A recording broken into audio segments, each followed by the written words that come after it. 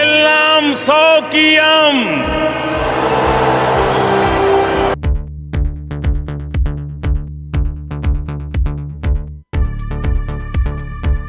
இந்தியாவிலும் அமெரிக்காவிலும் அடுத்த ஆண்டு தேர்தல் நடக்கவிருக்கும் நிலையில் மோடி மேற்கொள்ளும் அமெரிக்க விஜயம் மோடியை காட்டிலும் அமெரிக்க அதிபருக்கு முக்கியத்துவம் வாய்ந்தது. காரணம் அமெரிக்க வாழ் இந்திய வாக்காளர்கள். அமெரிக்காவிடமிருந்து பிரிடேட்டர் அல்லது எம்கியூ சி கார்டியன் வகை ட்ரோன்களை கொள்முதல் செய்ய இந்தியா ஒப்பந்தம் போடும் என்று கூறப்படுகிறது. அமெரிக்க நாடாளுமன்ற கூட்டு கூட்டத்தில் ஓர் இந்திய பிரதமர் இரண்டு முறை உரை நிகழ்த்துவது இதுவே முதன்முறையாகும் மோடிக்கு எதிராக சில அமெரிக்க உரிமை குழுக்கள் போராட்டம் நடத்த திட்டமிட்டுள்ளன. இந்த எதிர்மறை சக்திகளுக்கு பின்னே இருப்பது சர்வதேச கிழட்டு கிரிமினலான ஜார்ஜ் சோரஸ் என்பதை நாம் மறந்துவிடக் கூடாது. தந்தத்துக்காக யானைகள் வேட்டையாடப்படுவதற்கு எதிராக ஒருபோதும் குரல் கொடுத்திராத சேவ் எலிபன்ஸ் இயக்கம் கோயில்களில் யானை துன்புறுத்தப்படுவதாக கூறி போராட்டம் நடத்தியது. அவர்களது உள்நோக்கம் இந்து கோயில்களின் நடைமுறைகளில் மூக்கை நுழைப்பது. சீனாவுடன் பாகிஸ்தான் நெருங்கும் நிலையில் அமெரிக்காவுடன் இந்தியா நெருங்குவதை மோடியின் பயணம் உறுதிப்படுத்தும். கோலஹலாஸ் டிவி யூடியூப் சேனல் இது வாய்மையின் எக்காலம். வணக்கம் நண்பர்களே. பிரதமர் மோடி இன்று காலை அமெரிக்கா கிளம்பினார். இந்தியாவிலும் அமெரிக்காவிலும் அடுத்த ஆண்டு தேர்தல் நடக்கவிருக்கும் நிலையில் மோடி மேற்கொள்ளும் அமெரிக்க விஜயம் மோடியை காட்டிலும் அமெரிக்க அதிபருக்கு முக்கியத்துவம் வாய்ந்தது. காரணம் அமெரிக்க வாழ் இந்திய வாக்காளர்கள்.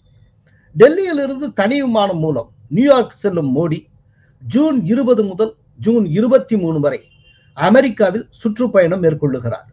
ஜூன் இருபத்தி நாலு இருபத்தி ஐந்து தேதிகளில் எகிப்து செல்லுகிறார். ஜோ பைடன் அமெரிக்க ஜனாதிபதியாக பதவியேற்ற பின்னர் அவரது அழைப்பின் பேரில் அரசு முறை பயணம் மேற்கொள்ளும் மூன்றாவது உலகத் தலைவர் மோடி. இதற்கு முன் பிரான்ஸ் அதிபர் இமானுவேல் மெக்ரான் தென்கொரிய அதிபர் யூன் சுக் இயோர் ஆகியோர் ஜோ பிடன் அழைப்பின் பேரில் அமெரிக்கா வந்துள்ளனர். ஜூன் இருபத்தி ஒன்னாம் தேதி நியூயார்க் நகரில் உள்ள ஐநா தலைமையகம் செல்லும் மோடி அங்கு நடைபெறும் சர்வதேச யோகா தின கொண்டாட்டத்துக்கு தலைமை தாங்கி சிறப்பிக்கிறார். இந்த நிகழ்ச்சியில் பிரபல ஹாலிவுட் நடிகையும் பாடகியுமான மேரி மில்பன் பங்கேற்று பாடுகிறார். இவர் எழுபத்தி நாலாவது இந்திய சுதந்திர தின கொண்டாட்டத்தில் கலந்து கொண்டு தேசிய கீதம் பாடி அசத்தியவர் என்பது குறிப்பிடத்தக்கது.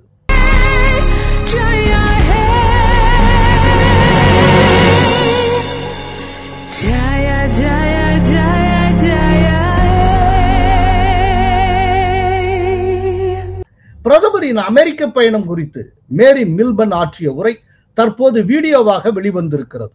அதில் அவர் என்ன கூறியிருக்கிறார் என்பதை பார்க்கலாம். பிரதமர் மோடி அமெரிக்கா வருவது குறித்து பெரும் எதிர்பார்ப்பும் பரபரப்பும் நிலவுகிறது. உலகின் மிகப்பெரிய ஜனநாயக நாடுகளாகும். உலகின் மிக முக்கிய உறவாகவும் அமைந்துள்ள அமெரிக்க இந்திய உறவை கொண்டாடுவதாக மோடியின் வருகை அமையும். நியூயார்க் நகரில் ஐநா தலைமையகத்தில் நடைபெறும் முதல் நிகழ்ச்சியில் பிரதமர் மோடியை வரவேற்க ஐநாவின் எழுபத்தி ஏழாவது பொதுச்சபை தலைவரும் ஹங்கேரி நாட்டு ராஜதந்திரியுமான கசாபா கொராசி மற்றும் ஐநாவுக்கான இந்திய தூதர் ருச்சித்ரா காம்போஜ் நியூயார்க் நகரின் நூற்றி பத்தாவது மேயரான எரிக் ஆடம்ஸ் ஆகியோருடன் நானும் இணைய காத்திருக்கிறேன் என்று மேரி மில்பர்ட் குறிப்பிட்டிருக்கிறார் Now, this alliance is at its strongest, and that is much credit to Prime Minister Modi. I look forward to welcoming the Prime Minister to the United States next week, and I look forward to performing during the state arrival week planned. May God bless you, my beloved family in India. God bless the Indian American community and communities across the world. இருபத்தி ரெண்டாம் தேதி நியூயார்க்கிலிருந்து அமெரிக்க தலைநகர் Washington செல்லும் மோடிக்கு வெள்ளை மாளிகையில் அணிவகுப்பு மரியாதையுடன் கூடிய சம்பிரதாய பூர்வ வரவேற்பு அளிக்கப்படுகிறது அதைத் தொடர்ந்து ஜனாதிபதி ஜோ பைடனுடன் இருதரப்பு பேச்சுவார்த்தை நடத்துகிறார் பிரதமர் Modi.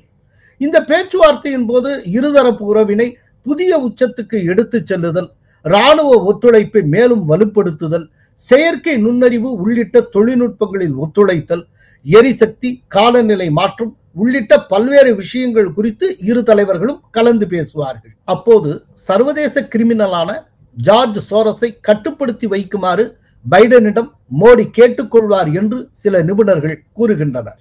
சீனாவிடமிருந்து Cai Hong four Wing Loong two ஆகிய ட்ரோன்களை பாகிஸ்தான் கொள்முதல் செய்து வரும் நிலையில் அமெரிக்காவிடமிருந்து பிரிடேட்டர் அல்லது எம்கியூ சி கார்டியன் வகை ட்ரோன்களை கொள்முதல் செய்ய இந்தியா ஒப்பந்தம் போடும் என்று கூறப்படுகிறது. விண்ணிலிருந்து தரை இலக்குகளை துல்லியமாக தாக்குவதற்கான ஏவுகணைகளையும் நீண்ட தொலைவு இலக்குகளை துல்லியமாக தாக்குவதற்கான ஸ்மார்ட் பாம்களையும் இந்த வகை ட்ரோன்கள் கொண்டிருக்கும். இவற்றை மூன்று பில்லியன் அமெரிக்க டாலர்களுக்கு வாங்க இந்தியா திட்டமிட்டுள்ளதாக தகவல் கசிந்துள்ளன. மொத்தம் முப்பது ட்ரோன்கள் வாங்கப்படலாம். இவற்றில் பதினான்கு ட்ரோன்கள் கடற்படைக்கும் தலா எட்டு ராணுவத்துக்கும் இந்திய விமானப்படைக்கும் பயன்படுத்தப்படும். ட்ரோன்கள் தவிர தேஜஸ் மார்க் டூ போர் விமானங்களுக்கான டர்போ ஃபேன் இயந்திரங்களை இந்தியாவிலேயே தயாரிக்க அமெரிக்காவின் ஜெனரல் எலக்ட்ரிக் கம்பெனிக்கும் ஹிந்துஸ்தான் ஏரோநாட்டிக்ஸ் நிறுவனத்துக்கும் இடையே மோடி முன்னிலையில் ஒரு ஒப்பந்தம் கையெழுத்தாகும் என்றும் கூறப்படுகிறது. அன்றைய தினமே அமெரிக்க நாடாளுமன்றத்தின் இரு அவைகளின் கூட்டு கூட்டத்தில் பிரதமர் மோடி உரையாற்றுகிறார். அமெரிக்க நாடாளுமன்ற கீழ் சபையின் அதாவது பிரதிநிதிகள் சபையின் ஐம்பத்தி ஐந்தாவது சபாநாயகர் கெவின் ஓவன் மெக்கார்த்தி அதே போல மேல் சபை அதாவது செனட்டின் ஜனநாயக கட்சி தலைவர் சுக் ஷூமர் ஆகியோரின் அழைப்பினை ஏற்று பிரதமர் மோடி உரை நிகழ்த்துகிறார். அப்போது இரு நாட்டு உறவின் முக்கியத்துவத்தை அவர் வலியுறுத்துவார். இரண்டாயிரத்தி பதினாறாம் ஆண்டும் அமெரிக்க நாடாளுமன்ற கூட்டு கூட்டத்தில் உரை நிகழ்த்தி இருக்கிறார் மோடி. இப்போது இரண்டாவது முறை. அமெரிக்க நாடாளுமன்ற கூட்டு கூட்டத்தில் ஓர் இந்திய பிரதமர் இரண்டு முறை உரை நிகழ்த்துவது இதுவே முதன்முறையாகும். அமெரிக்கா தனது மிக நெருங்கிய நட்பு நாடுகளின் தலைவர்களுக்கு மட்டுமே இந்த கௌரவத்தை வழங்கி வருகிறது. பிரதமர் மோடியை கௌரவிக்கும் விதமாக அன்றைய தினம் அதிபர் ஜோ பைடனும் அவரது மனைவி ஜில் பைடனும் இரவு விருந்தளிக்க உள்ளனர். ஜூன் இருபத்தி மூணாம் தேதி அமெரிக்க துணை ஜனாதிபதி கமலா ஹாரிஸ் அமெரிக்க வெளியுறவுத்துறை அமைச்சர் ஆண்டனி பிளிங்கன் ஆகியோர் இணைந்து பிரதமர் மோடிக்கு மதிய விருந்து தருகின்றனர். அப்போது பல்வேறு நிறுவனங்களின் தலைமைச் செயல் அதிகாரிகளையும் அமெரிக்க முன்னணி தொழில் நிறுவனங்களின் தலைவர்களையும் சந்தித்து பேசுகிறார் மோடி. இந்தியாவில் தொழில் தொடங்கவும் உள்கட்டமைப்பு திட்டங்களில் முதலீடுகள் செய்யவும் அவர்களுக்கு மோடி அழைப்பு விடுப்பார் என்று எதிர்பார்க்கப்படுகிறது. மோடியின் வருகை பற்றி கருத்து கூறியுள்ள அமெரிக்க வெளியுறவுத்துறை அமைச்சர் ஆண்டனி பிளிங்கன் உலகின் மிக பழமையான மற்றும் மிகப்பெரிய ஜனநாயக நாடுகளுக்கு இடையிலான தனித்துவமான தொடர்பை வரையறுப்பது பிராந்திய மற்றும் உலகளாவிய சவால்களை எதிர்கொள்வதற்கான ஒத்துழைப்பை உறுதிப்படுத்துவது ஆகியவற்றை பைடன் நிர்வாகம் மோடியிடம் எதிர்பார்க்கிறது என்று கூறியிருக்கிறார். கடந்த ஆண்டு இரு நாடுகளுக்கு இடையிலான வர்த்தகம் நூத்தி தொண்ணூத்தி ஒன்னு பில்லியன் டாலர்களை எட்டியது. இது அமெரிக்காவை இந்தியாவின் மிகப்பெரிய வர்த்தக பங்காளியாக மாற்றியது. இந்தியாவில் ஐம்பத்தி நான்கு பில்லியன் அமெரிக்க டாலர்கள் அளவுக்கு அமெரிக்க நிறுவனங்கள் முதலீடு செய்துள்ளன. அதேபோல் அமெரிக்காவில் நாற்பது பில்லியன் டாலர்களுக்கு மேல் இந்திய நிறுவனங்கள் முதலீடு செய்துள்ளன. கலிபோர்னியாவிலிருந்து ஜார்ஜியா வரை நாலு லட்சத்தி இருபத்தி ஐயாயிரம் வேலை வாய்ப்புகள் உருவாகி உள்ளன என்றும் ஆண்டனி பிளிங்கன் தெரிவித்தார். அமெரிக்க நாடாளுமன்றத்தில் பிரதமர் மோடி ஆற்றும் உரையை கேட்க நாங்கள் ஆவலுடன் காத்திருக்கிறோம். இது மிக முக்கியமானது என்று அமெரிக்க காங்கிரஸ் உறுப்பினர் ஷீலா ஜாக்சன் லீ கருத்து தெரிவித்திருக்கிறார். பிரதமர் மோடியின் அமெரிக்க பயணம் எவ்வளவு முக்கியத்துவம் வாய்ந்தது என்பதை இன்னமும் சிலர் சரியாக உணரவில்லை. சீனாவுக்கு நிகராக தொழில்துறை உற்பத்தி திறன் கொண்ட நாடாக இந்தியா உள்ளது. குறிப்பாக உலக வர்த்தக நிறுவனத்தின் விதிகளுக்கு உட்பட்டு செயல்படும் இந்தியா போன்ற கூட்டாளியின் நட்புதான் இன்றைக்கு அமெரிக்காவுக்கு தேவை என்று ஜார்ஜியாவைச் சேர்ந்த அமெரிக்க பிரதிநிதிகள் சபை உறுப்பினர் ரிச்சர்ட் மெக்கார்மின் கூறியிருக்கிறார். இந்நிலையில் சிகாகோவில் உள்ள சோல்ஜர் ஃபீல்டு எனும் ஃபுட்பால் ஸ்டேடியத்தில் மோடிக்கு பிரம்மாண்டமான வரவேற்பு நிகழ்ச்சியை நடத்த அமெரிக்க வாழ் இந்திய சமூகம் திட்டமிட்டிருந்தது. ஆனால் மோடியின் நெருக்கடியான நிகழ்ச்சி நிரலுக்கு மத்தியில் அதற்கு வாய்ப்பில்லாமல் போய்விட்டது. இது அமெரிக்க வாழ் இந்தியர்களுக்கு ஏமாற்றம் தந்திருக்கிறது. இருப்பினும் இருபத்தி மூணாம் தேதி வாஷிங்டனிலிருந்து கிளம்புவதற்கு முன்பாக தேர்ந்தெடுக்கப்பட்ட ஆயிரம் அமெரிக்க வாழ் இந்தியர்களை வாஷிங்டன் ரொனால்ட் ரீகன் கட்டடத்தில் வைத்து சந்தித்து பேசுகிறார் மோடி. இதனால் அவர் வாஷிங்டனிலிருந்து எகிப்து கிளம்புவது சில மணி நேரம் தாமதமாகும். இந்த நிகழ்ச்சியிலும் ஹாலிவுட் நடிகையும் பாடகியுமான மேரி மில்பன் கலந்து கொண்டு பாடுகிறார். இந்த தகவலை அமெரிக்க வாழ் இந்திய சமூக அறக்கட்டளை தலைவர் டாக்டர் பரத் பராய் தெரிவித்திருக்கிறார். முன்னர் இரண்டாயிரத்தி பதினாலாம் ஆண்டு நியூயார்க் மேடிசன் சதுக்கத்திலும் இரண்டாயிரத்தி பத்தொன்பதாம் ஆண்டு ஹூஸ்டன் நகரிலும் மோடிக்கு பெரும் வரவேற்பை அமெரிக்க வாழ் இந்திய சமூகம் வழங்கியது. ஹூஸ்டனில் பேசுகிற போது எல்லாம் சௌக்கியம் என்று தமிழில் மோடி பேசியது பலருக்கு நினைவிருக்கும். எல்லாம் சௌக்கியம். அதே நேரம் எதிர்மறையான சில நிகழ்வுகளும் தற்போது அரங்கேற உள்ளன.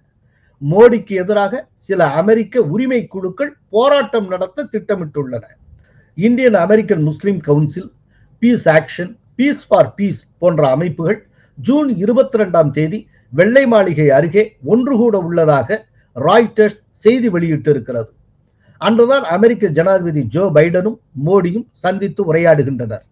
மோடியை பற்றிய சர்ச்சைக்குரிய பிபிசி ஆவணப்படத்தை ஆம்னஸ்டி இன்டர்நேஷனல் மற்றும் ஹியூமன் ரைட்ஸ் வாட்ச் ஆகியன வாஷிங்டனில் திரையிட ஏற்பாடு செய்துள்ளன. மோடியை வரவேற்கவில்லை. மற்றும் ஹிந்து மேலாதிக்கத்திலிருந்து இந்தியாவை காப்பாற்றுங்கள் போன்ற தலைப்புகளுடன் பதாகைகளை போராட்ட குழுக்கள் உருவாக்கி உள்ளன. நியூயார்க்கில் ஹவுடே டெமோக்ரசி என்கிற தலைப்பில் ஒரு நிகழ்ச்சி நடத்த திட்டமிடப்பட்டுள்ளது. மனித உரிமைகள் கண்காணிப்பகத்தின் ஆசிய பிரிவின் இயக்குனர் எலைன் பியர்சன் அமெரிக்க அதிபர் ஜோ பைடனுக்கு கடிதம் எழுதியிருக்கிறார். அந்த கடிதத்தில் இந்தியாவில் மனித உரிமைகள் பற்றிய கவலைகளை பகிரங்கமாகவும் தனிப்பட்ட முறையிலும் மோடியிடம் எடுத்துரைக்குமாறு வற்புறுத்தி இருக்கிறார் இந்த எதிர்மறை சக்திகளுக்கு பின்னே இருப்பது சர்வதேச கிழட்டு கிரிமினலான ஜார்ஜ் சோரஸ் என்பதை நாம் மறந்துவிடக் கூடாது தன் சொந்த நாடான ஹங்கேரியிலேயே நுழைவதற்கு தடை விதிக்கப்பட்டிருக்கும் சர்வதேச குற்றவாளிதான் ஜார்ஜ் சோரஸ். அமெரிக்காவுக்கு மோடி செல்லும் ஒவ்வொரு முறையும் அவரது தூண்டுதலின் பேரில் கிறிஸ்தவ மிஷினரி பின்னணி கொண்ட அமைப்பினர் ஏழெட்டு பேர் சேர்ந்து மோடிக்கு எதிராக கொடிபிடிப்பார்கள் ரெண்டாயிரத்தி பதினாலில் மோடி அமெரிக்கா சென்றிருந்த போது இந்து கோயில்களில் யானைகள் துன்புறுத்தப்படுவதாகவும் அவற்றை விடுவிக்க வேண்டும் என்றும் சேவ் எலிபன்ஸ் எனும் அமைப்பு கோஷமிட்டது. கடைசியில் அவர்கள் யார் என்று ஆராய்ந்ததில் அவர்கள் அத்தனை பேர் கிறிஸ்தவ மிஷினரி பின்னணி கொண்டவர்கள் என்பது அம்பலமானது. தந்தத்துக்காக யானைகள் வேட்டையாடப்படுவதற்கு எதிராக ஒருபோதும் குரல் கொடுத்திராத சேவ் எலிபன்ஸ் இயக்கம் கோயில்களில் யானை துன்புறுத்தப்படுவதாக கூறி போராட்டம் நடத்தியது. அவர்களது உள்நோக்கம் இந்து கோயில்களின் நடைமுறைகளில் மூக்கை நுழைப்பது. இது போன்ற இயக்கங்களை சேர்ந்தவர்கள் இந்தியாவில் காசு வாங்கி கொண்டு ஊர்வலத்தில் கோஷமிட்டு செல்பவர்களைப் போல சோரஸிடமிருந்து பணம் பெற்றுக்கொண்டு மோடிக்கு எதிராக கூவி விட்டு செல்வார்கள். இவர்களை நாமே பொருட்படுத்துவதில்லை. மோடி எப்படி பொருட்படுத்துவார்? அமெரிக்க நிகழ்ச்சிகளை முடித்துக்கொண்டு வரும் இருபத்தி நாலு இருபத்தைந்து தேதிகளில் எகிப்து நாட்டில் முதன்முறையாக சுற்றுப்பயணம் மேற்கொள்ளுகிறார் மோடி. எகிப்து அதிபர் அப்தல் ஃபட்டா எல் சிசி அழைப்பின் பேரில் பிரதமர் மோடி மேற்கொள்ளுகிற அரசு முறை பயணம் இது. எகிப்து தலைநகர் கெய்ரோவில் அதிபர் எல் சிசியுடன் அவர் இருதரப்பு உறவை வலுப்படுத்துவது தொடர்பாக பேச்சுவார்த்தை நடத்துகிறார். எகிப்து வாழ் இந்தியர்களையும் சந்தித்து பேச உள்ளார். எகிப்து அதிபர் அல் சிசி கடந்த ஜனவரி மாதம் இந்தியா வந்திருந்த போது இருதரப்பு ராணுவ உறவை மேலும் வலுப்படுத்த ஒப்புக்கொண்டிருந்தார். எனவே அவருடன் மோடி நடத்துகிற பேச்சுவார்த்தையில் ராணுவ ஒத்துழைப்பு முக்கிய இடம்பெறும் என்பது குறிப்பிடத்தக்கது. எனவே மோடியின் இருநாட்டு விஜயம் பாதுகாப்பு கோணத்திலும் புவிசார் அரசியல் சார்ந்தும் மிக முக்கியமானது. சீனாவுடன் பாகிஸ்தான் நெருங்கும் நிலையில் அமெரிக்காவுடன் இந்தியா நெருங்குவதை மோடியின் பயணம் உறுதிப்படுத்தும். சீனாவுக்கு எதிரான சமநிலையை தெற்காசியாவில் நிறுவ மோடியின் பயணம் பயன்படும். இஸ்லாமிய நாடுகளுக்கு இந்தியாவை மேலும் நெருக்கமாக்க மோடியின் எகிப்து பயணம் உதவும். நன்றி வணக்கம். கோலஹலாஸ் டிவி யூடியூப் சேனல் இது வாய்மையின் எக்காலம்.